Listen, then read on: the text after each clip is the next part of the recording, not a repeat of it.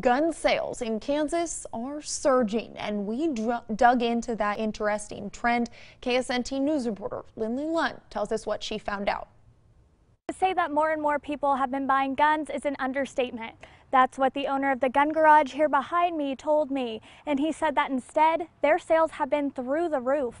From shotguns to pistols and longtime gun owners to first time, the business is booming. It is just, it's wild.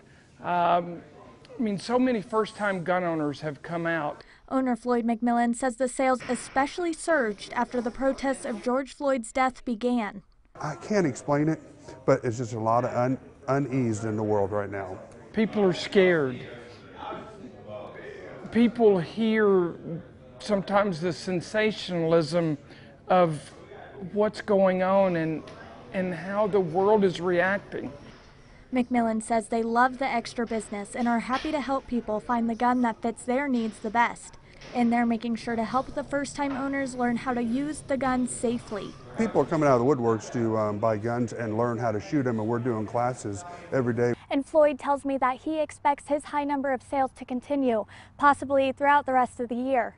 Reporting in Topeka, Lindley Lund, KSNT News.